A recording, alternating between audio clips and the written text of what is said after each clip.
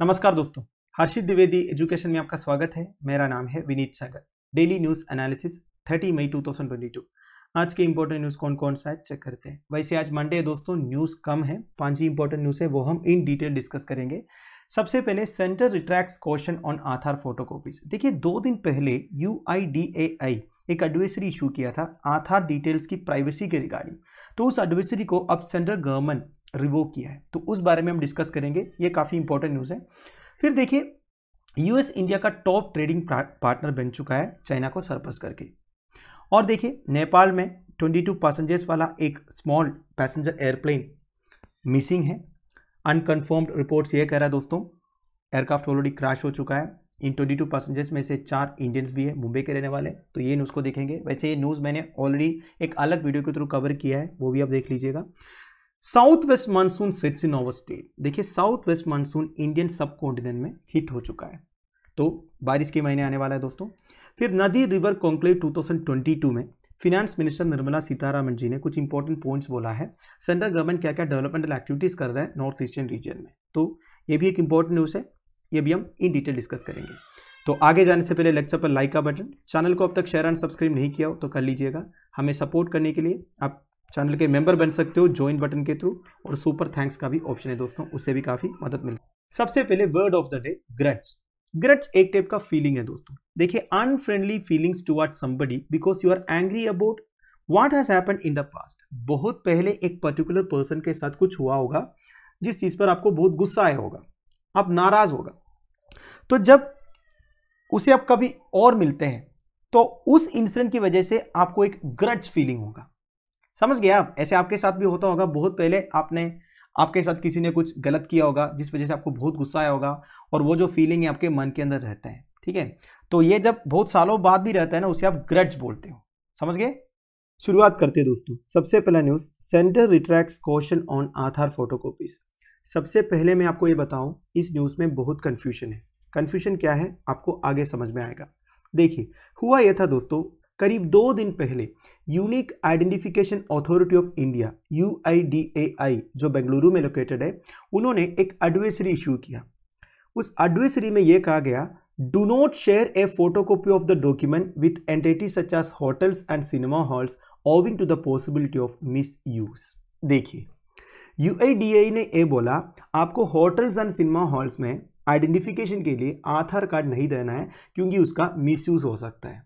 अब ये स्टेटमेंट बिल्कुल कॉन्ट्राडिक्टरी है दोस्तों।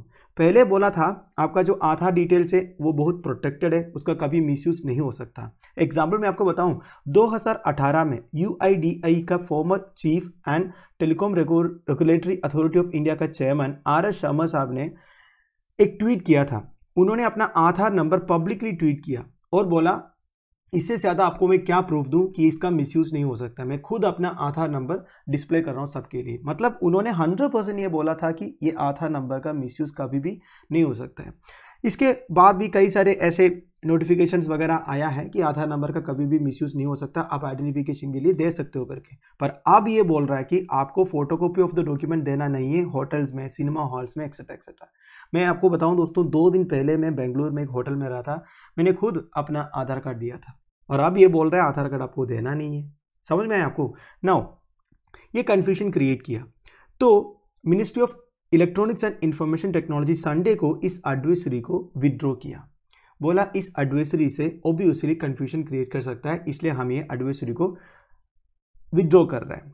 उन्होंने ये बोला, Citizens should share their Aadhaar details only with entities that have a user license from UIDAE. तो UIDAE से जिन एंटिटीज़ के पास यूज़र लाइसेंस है, उन्हीं के साथ आपको आधार डिटेल्स शेयर करना है। पर ये नहीं बोल रहा है, ये यूज़र लाइसेंस हम कैसे वेरीफाई करेंगे? अगर कोई होटल वाला हमसे आधार कार्ड मांग रहा है या फिर आधार कार्ड का कॉपी मांग रहा है तो उनके पास यूज़र लाइसेंस है या नहीं यूआईडीए का? ये हमें कैसा पता चलेगा? कन्फ्यूज़न है ना?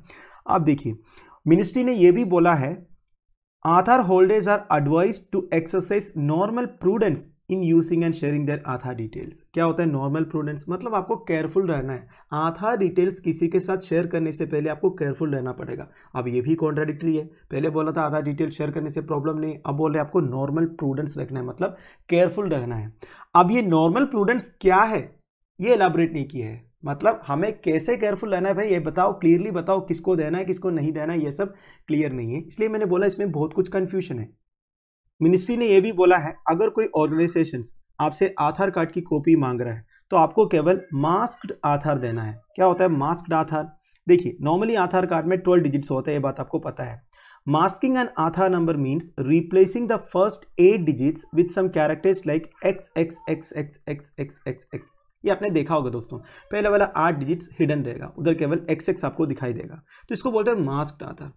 अगर आपको मास्क आधार डाउनलोड करना है तो क्या करना है? देखिए, आपको पहले ये वेबसाइट पर जाना है E Aadhaar dot U I D I E dot G O V dot in इधर जाके आपको जेनेरिक डाउनलोड आधार करके टैब में जाना है, फिर आपका आधार कार्ड नंबर टाइप करना है कैप्चा एंटर करना है, फिर एक ऑप्शन देगा do you want the mask Aadhaar? उसको सेलेक्ट करना है, आपके मोबाइल में ओटीपी आ जाएगा ओटीपी एंटर करो, आप डाउनलोड कर सकते हो। वैसे दोस्तों, देखा जाएगा तो controller and auditor general of India बहुत पहले ये नोट किया था कि आई ये इंश्योर नहीं किया है। जितने प्राइवेट फिल्म्स हमारा आधार ऑथेंटिकेशन करते हैं ना, वो हमारे पर्सनल इंफॉर्मेशन स्टोर कर सकता है या नहीं? ऐसा है तो हमारी प्राइवेसी तो रिस्क में है। आप जाके मिनिस्ट्री ये क्लियर कर रहा है दोस्तों, जिन प्राइवेट एंटिटीज के पास आई का यूज़र लाइसेंस नहीं है, वो आधार कार्ड का डिटेल्स रख नहीं सकते।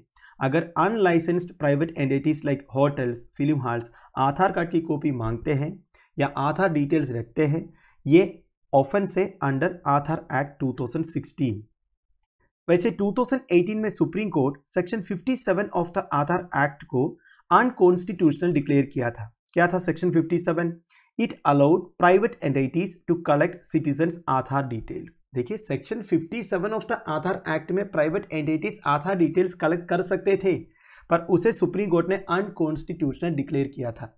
ये जजमेंट से फिर से कंफ्यूजन हो गया था।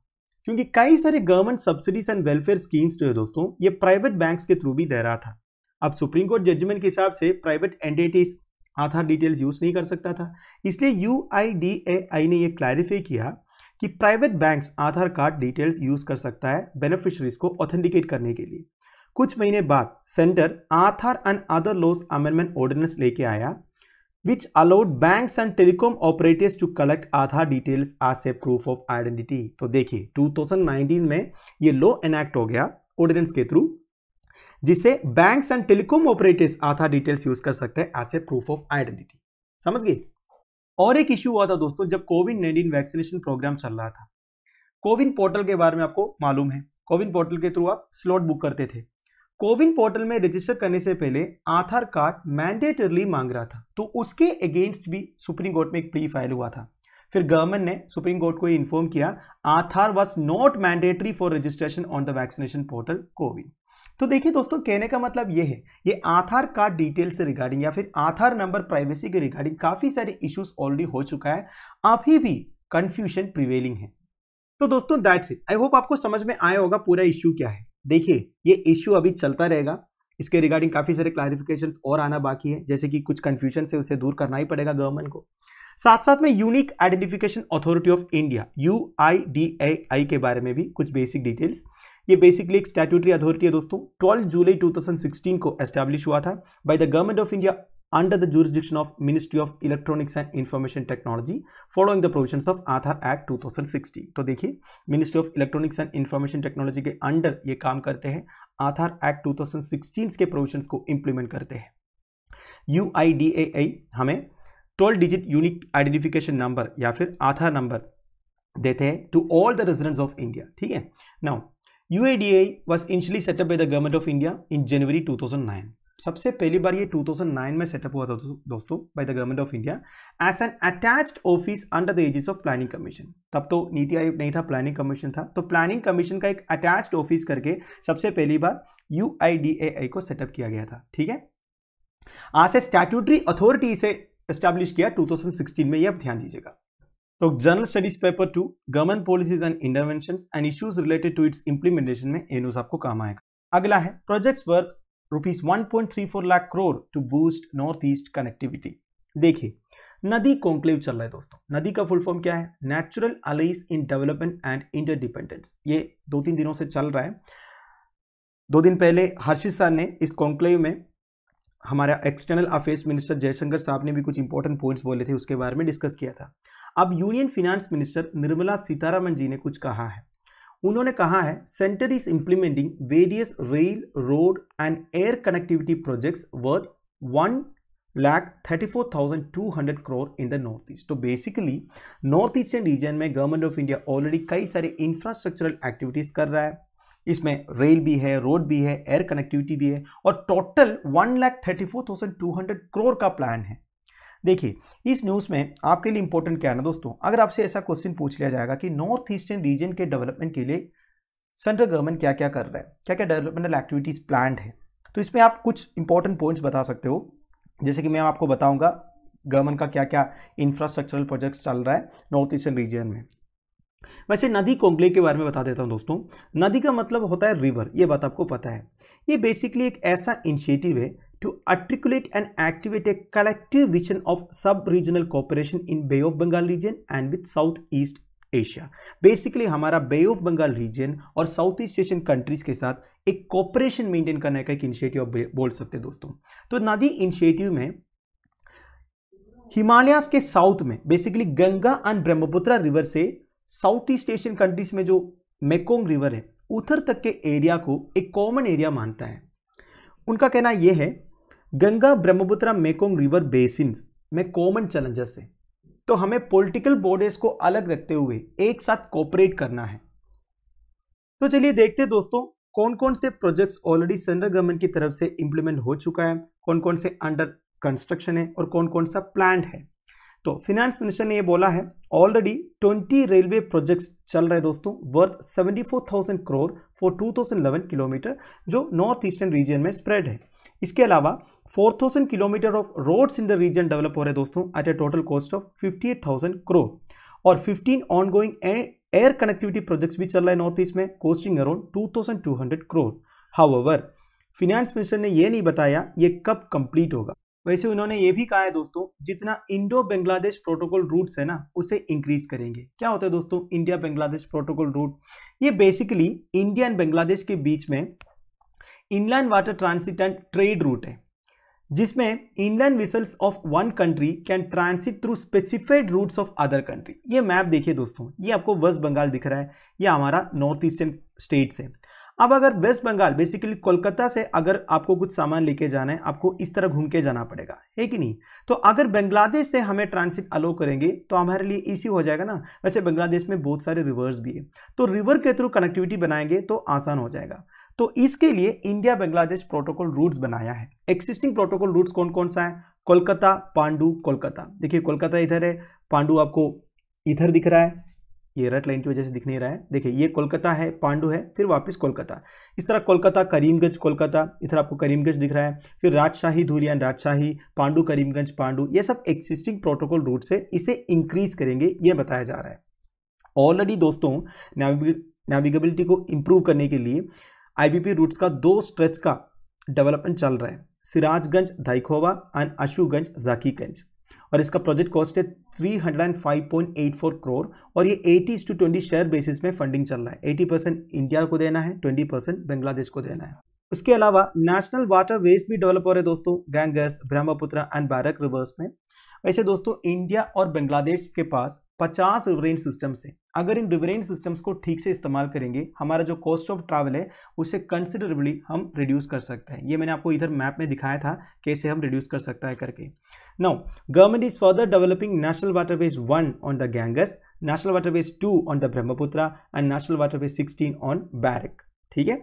Now entire area between Sadia and Dhubri in Assam, along mighty Brahmaputra river was being developed for improved connectivity. तो Sadiya and Dhubri in Assam area में जो वाटर वेज है, उसको भी डेवलप किया जा रहा है। और multi modal hub on the Brahmaputra in Guwahati is being developed this includes a ship repairing port at Pandu four tourist jetties eleven fourteen terminals ऐसा प्लान है दोस्तों, देखिए। पांडू पोर्ट है ना जो? पांडू पोर्ट में एक बहुत बड़ा हब बनाएगा मल्टी मॉडल हब हब मतलब उसमें काफ़ी सारे सर्विसेज़ रहेंगे। जैसे कि शिप को अगर रिपेयर करना है, इसके लिए एक पोर्ट रहेगा। टूरिस्ट को आना है तो जेटीज रहेंगे और फ्लोटिंग टर्मिनल्स भी रहेंगे। और एक eastern waterways connectivity transport grid भी प्लान है दोस्तों। ये कंप्लीट होने के बाद केवल नॉर्थ ईस्टर्न रीजन के लिए एडवांटेज नहीं होगा रेस्ट ऑफ़ द इंडिया के लिए भी एडवांटेज होगा, क्योंकि इसमें 5000 किलोमीटर ऑफ़ नेविगेबल वाटरवेज को डेवलप कर रहा है। सेंट्रल गवर्नमेंट ये सबके अलावा सेवरल प्रोजेक्ट्स भी डेवलप कर रहे हैं दोस्तों। जो पावर ट्रांसमिशन के ऊपर फोकस्ड है डिस्ट्रीब्यूशन के ऊपर mobile networks 4G broadband connectivity etcetera etcetera तो ये सारे पॉइंट्स आप ध्यान दीजिएगा दोस्तों, आप पॉइंट वाइज मेंशन कर सकते हो आपके आंसर्स में government of India north eastern region के लिए क्या क्या डेवलपमेंटल एक्टिविटीज़ प्लान है। वैसे आपको पता ही होगा, एक अलग सा मिनिस्ट्री है गवर्नमेंट में गवर्नमेंट ऑफ़ इंडिया में ministry of development of north east region करके, ये भी आप ध्यान दीजिएगा। तो general studies paper two and three government policies Indian neighbourhood relation infrastructure, ये सब में आपको ये न्यूज़ काम आएगा। अगला है south west monsoon sets in over state Indian subcontinent में साउथ वेस्ट मानसून आ चुका है। नॉर्मली जून एक को आता है दोस्तों, इस साल तीन दिन पहले ही आया है। इंडियन सब कॉन्टिनेंट में साउथ वेस्ट मानसून सबसे पहले हिट करता है केरला स्टेट को। तो इंडिया मीटियोलॉजिकल डिपार्टमेंट ये ऑफिशियली डिक्लेयर करते हैं दोस्तों। इसके लिए कुछ क्राइटेरियाज फुलफिल करना पड़ता है। जैसे कि स्ट्रेंथ ऑफ़ वेस्टर्ली विंड्स। देखिए, आपको पता ही होगा, नॉर्मली ईस्टर्लीज होता है। अब टेम्परेचर डिफरेंस की वजह से ईस्टर्लीज, वेस्टर्लीज बन जाता है और इंडियन सबकॉन्टिनेंट की तरफ़ बहने लगता है। तो इसका स्ट्रेंथ देखते हैं दोस्तों। दूसरा out going long wave radiation. ये क्या है? बेसिकली सी सर्फेस से, लैंड सर्फेस से जो टेम्परेचर का, सॉरी, रेडिएशन का जो आउटफ्लो है, ये क्लाउड फॉर्मेशन का कारण होता है। तो out going long wave radiation जिस हिसाब से होगा, उस हिसाब से क्लाउड फॉर्मेशन होता है। तो I M D out going long wave radiation भी चेक करता है। फिर rainfall appearing to be consistent वैसे तो दोस्तों, पिछले दो तीन हफ़्ते से केरला के ऊपर बारिश तो हो रहा है और कुछ कारण से, कहीं डिप्रेशन फॉर्म हुआ था उस वजह से। अब तो साउथ वेस्ट मानसून भी आ चुका है, बारिश तो कंटिन्यू रहेगा। तो एक कंसिस्टेंट अमाउंट ऑफ़ रेनफॉल भी होनी चाहिए, ठीक है? तो ये सारे इंपॉर्टेंट क्राइटेरिया से दोस्तों आईएमडी को official declaration of south west monsoon का ऑनसेट डिक्लेयर करने के लिए। वैसे दोस्तों, केरला में बारिश देने के बाद साउथ वेस्ट मानसून आगे एडवांस होता है। तो अगले तीन चार दिन में एडवांस होगा, ऐसा आईएमडी ने बोला है। Like some parts of central Arabian sea में रिमेनिंग पार्ट्स ऑफ़ केरला में तमिलनाडु में कर्नाटका में south and central bay of Bengal में north east bay of Bengal में एंड नॉर्थ ईस्टर्न स्टेट्स में भी। और ऑलरेडी कुछ पार्ट्स में साउथ वेस्ट मानसून आ भी चुका है। Like south Arabian sea Lakshadweep area most parts of Kerala some part of south Tamil Nadu gulf of Mannar south west bay of Bengal etcetera etcetera और केरला में nine districts में yellow alert भी declare किया है। क्या होते हैं दोस्तों? येलो अलर्ट देखिए, बारिश के टाइम पर आईएमडी जो है वार्निंग देता है। एक होता है रेड अलर्ट रेड अलर्ट मतलब बहुत ज़्यादा बारिश होगा डेंजरस सिचुएशन है। फिर होता है ऑरेंज अलर्ट मतलब थोड़ा बहुत कोशिश रहना पड़ेगा। फाइनली येलो अलर्ट ठीक है? तो ये तीन अलर्ट देते हैं इसके हिसाब से, जो डिसास्टर रिस्पॉन्स टीम वगैरह है, वो प्रिपेयर होता है। ये तीन अलर्ट्स के बाद और एक अलर्ट है दोस्तों ग्रीन अलर्ट ग्रीन अलर्ट का मतलब नो एक्शन नीडेड वैसे ये देखिए दोस्तों बेसिक लेवल में मैसेज फोर डिफरेंट कलर्स में आता है।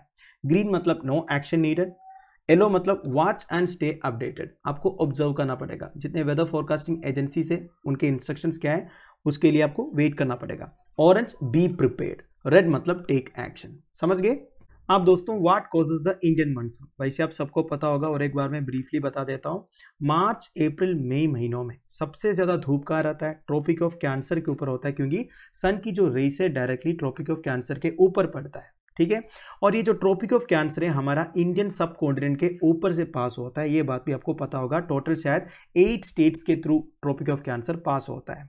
नौ ट्रॉपिक ऑफ़ कैंसर में डायरेक्ट धूप पड़ने की वजह से उस रीजन काफ़ी गर्म हो जाएगा, ठीक है? अब गर्म होने की वजह से क्या होगा दोस्तों? इस रीजन में एक लो प्रेशर फॉर्म होगा। अब लो प्रेशर फॉर्म होने की वजह से विंड्स को ये अट्रैक्ट करेगा, क्योंकि विंड्स हमेशा हाई प्रेशर से लो प्रेशर की ओर फ्लो होता है। नाउ ईस्टर्लिस के बारे में आपने सुना होगा। ईस्टर्लिस जो है वेस्ट से ईस्ट की तरफ़ फ्लो होता है। ये ट्रेड विंड्स भी बोलते हैं ट्रेड विंड्स हमेशा फ्लो होता रहता है। अब इंडियन सब कॉन्टिनेंट में ये लो प्रेशर क्रिएट होने की वजह से ये जो ईस्टर्ली से दोस्तों, ये डिफ्लेक्ट होके इस तरफ़ बहने लगता है। क्योंकि देखिए इधर इतना बड़ा लो प्रेशर जो फॉर्म हो गया तो ट्रेड विंड्स जो है वो डिफ्लेक्ट होके इस तरफ़ चले जाता है। अब इंडियन ओशन के ऊपर से जाने की वजह से क्या होगा इसमें? मॉइस्चर होगा। अब ये मॉइस्चर लेडन विंड्स जो है दोस्तों वेस्टर्न घाट्स में हीट होगा। वेस्टर्न घाट्स में हीट होने की वजह से क्या होगा? इधर ओरियोग्राफिक रेनफॉल मिल जाएगा। बेसिकली ये जो एयर है ये ऊपर की तरफ़ जाएगा, फिर कंडेंस होगा क्लाउड फॉर्म होगा और नीचे बारिश मिल जाएगा। ये है दोस्तों बेसिकली साउथ वेस्ट मानसून मतलब इंडियन ओशन के ऊपर जितने मॉइस्चर है, वो ट्रेड विंड्स कैरी करके इंडियन सबकोर्डेंट की तरफ़ लेके आते हैं। और ये फिनोमिन होता है जून, जुलाई महीनों में। तो general studies paper three important geographical phenomenon में ये न्यूज़ आपको काम आएगा। अब आपके लिए एक क्वेश्चन है दोस्तों ये प्रीवियस ईयर क्वेश्चन है यूपीएससी प्रीलिम्स में पूछा था। इस क्वेश्चन का आंसर बताने की कोशिश कीजिए वीडियो पोस्ट करके। अगला है US surpasses China as India biggest trading partner in financial year 2022 at 119.42 billion dollars सबसे पहले आपको बताऊँ दोस्तों, कल हर्षित सा ने एक वीडियो अपलोड किया था US surpasses China in Indian trade करके। ये वीडियो आप देख लीजिएगा। वैसे इसमें जो इंपॉर्टेंट पॉइंट्स है, और एक बार मैं आपको बता देता हूँ। 2013-14 फाइनेंशियल ईयर से 2017-18 फाइनेंशियल ईयर तक इंडिया का लार्जेस्ट ट्रेडिंग पार्टनर चाइना था। उससे पहले इंडिया का largest trading partner United Arab Emirates था।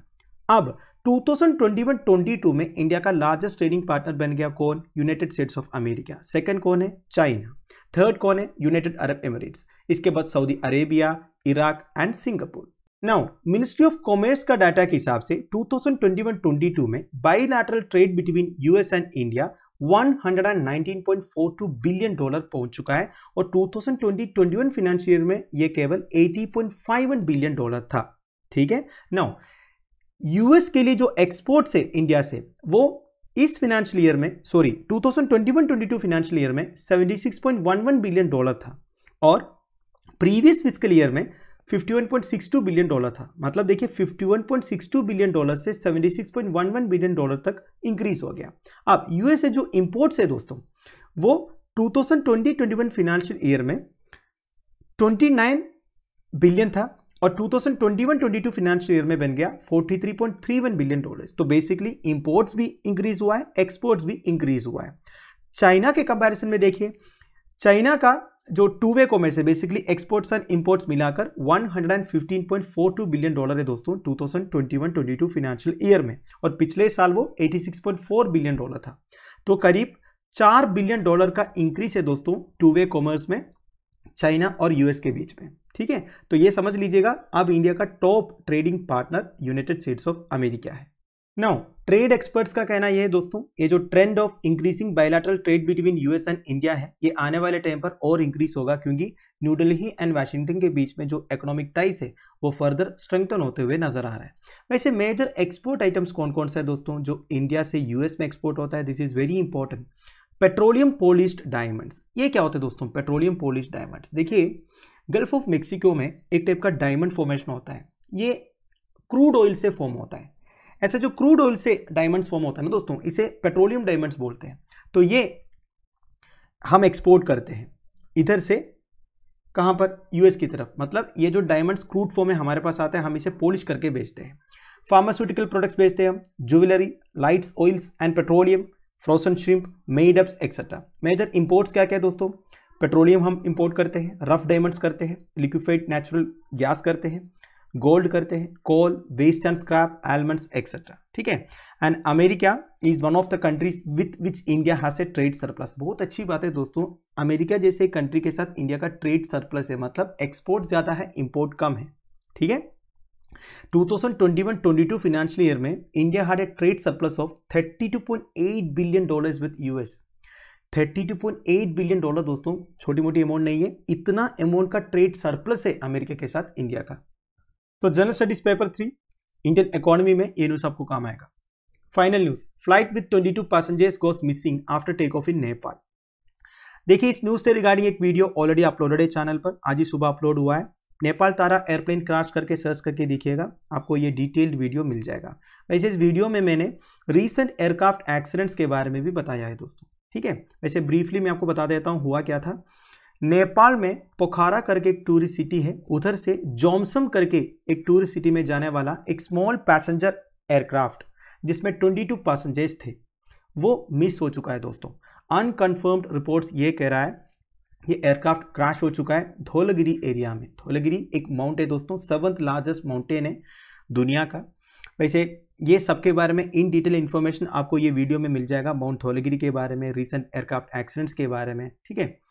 तो Nepali army major general Baburam Shrestha ने यह बोला है the plane was spotted in a state of burning at learning चोगला एन अपर एरिया ऑफ़ लरीकोटा in तजांग rural municipality two in Mustang district तो देखिए, नेपाली आर्मी मेजर जनरल से एक स्टेटमेंट आया है, ये प्लेनिंग जलता हुआ कंडीशन में लर्निंग चोगला रीजन में मिला है करके, ठीक है? अब ये क्रू एंड पैसेंजर्स का स्टेट क्या है, ये पता ही है दोस्तों।